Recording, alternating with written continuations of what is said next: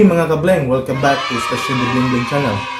Ngayon, magmo-modify tayo ng default details pagka-access sa modem ng Globe Prepaid Home Wi-Fi.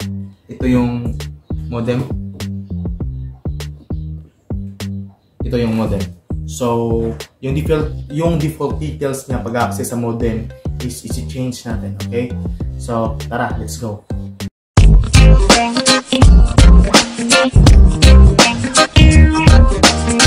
Ito yung Globe at Home prepaid Wi-Fi na modem natin. So, ang gagawin natin is papalitan natin yung default details na password niya sa pag-access.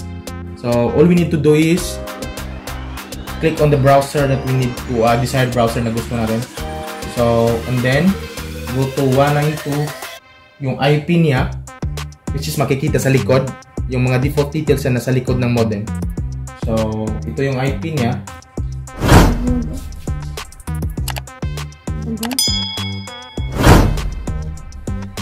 Para ma-access natin yung modem, go to 192.168.254.254. Makikita po itong details na to sa likod ng modem. So, let's go. We need to access the modem. Go to login and then type in the username and then the password. Ang gagawin natin dito is papalitan natin ng password sa pag-access ng modem. Uh, let us say for example, gusto natin palitan, ayaw natin ng default details. Yung default details is makikita sa at the back ng modem. Okay? So, let's go to advanced and then security, I don't know, system and then modify modify password. So, ito 'yon ito yung details na kailangan natin. Yung current password, which is makikita sa likod ng modem, tapos yung bagong password na nilagay natin. And then con confirm password. Right after that, if nailagay na natin, save. Okay?